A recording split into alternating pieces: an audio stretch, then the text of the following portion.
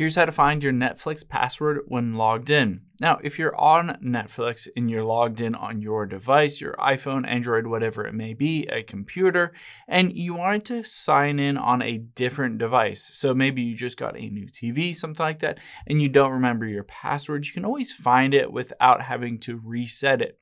So if you open up the Netflix app here, and I'm just going to choose a profile and tap on that profile at the top right. And I can scroll through here, go into e the account settings here, and basically I can look through this whole thing. You can see password right under email address.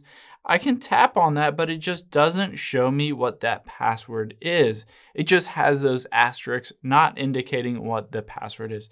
So even though I'm on here and I can see that has a password, it doesn't allow me to see what it is. There is a caveat to that though, and we can see it just by using a web browser that you commonly use. So Safari, Google Chrome, whatever it may be. And we're gonna go to netflix.com. So you need to go directly to netflix.com instead of like searching for Netflix and then going to that because it'll bring you over to the app. So go to netflix.com and at the very top, let's hit this sign in and let's tap where it says password.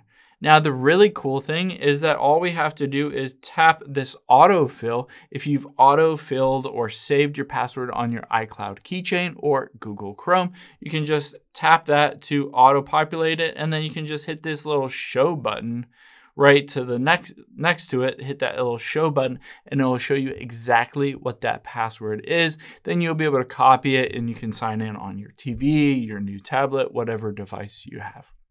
Hope this helps. If you have any questions on that, leave them in the comments down below, and I'll catch you on the next one.